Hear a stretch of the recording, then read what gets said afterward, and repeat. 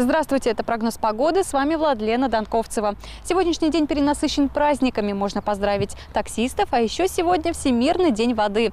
Но с водой у нас скудно. В ближайшие дни дождей не предвидится. А вот с магнитными бурями все в порядке. На выходных прогнозируют очередную волну.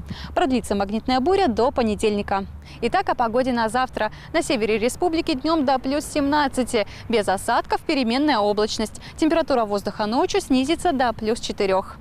В центральных районах и на юге днем до плюс 18. Без осадков, переменная облачность. Ночью температура воздуха снизится до плюс 5. В последующие сутки без осадков на улице будет еще теплее. У меня на этом все. Хорошей погоды вам в душе и за окном. До встречи!